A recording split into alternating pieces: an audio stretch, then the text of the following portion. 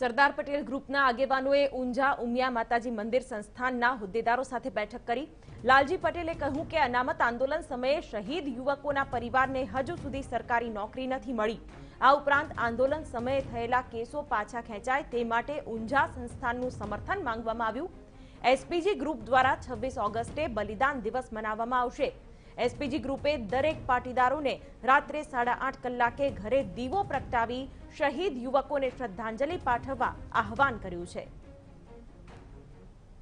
અનામત આંદોલન થયું બે હજાર પંદરની અંદર. એ વખતે જે ચૌદ ચૌદ પાટીદાર ભાઈઓ શહીદ થયા, એમના પરિવારને સરકારી કે અર્ધસરકારી નોકરી આપવાનું પણ વચન હતું. એના પછી જે અનામત આંદોલનની અંદર જે ભાઈઓ ઉપર કેસ થયા, એ પણ હજી પૂરેપૂરા પરત ખેંચવામાં આવ્યા નથી. તો આ તમામ મુદ્દે અહીંયા ચર્ચા કરવામાં આવી અને આગામી છવ્વીસ ઓગસ્ટના દિવસે જે ચૌદ પાટીદાર ભાઈઓ શહીદ થયા છે, એમને શ્રદ્ધાંજલિ આપવા માટેનો આખા ગુજરાતની અંદર કાર્યક્રમ છે. તો બધા પોતાના ઘરે દીપ પ્રાગટ્ય કરી અને આ ચૌદ ભાઈઓને શ્રદ્ધાંજલિ આપે, એ માટેની વાત હતી.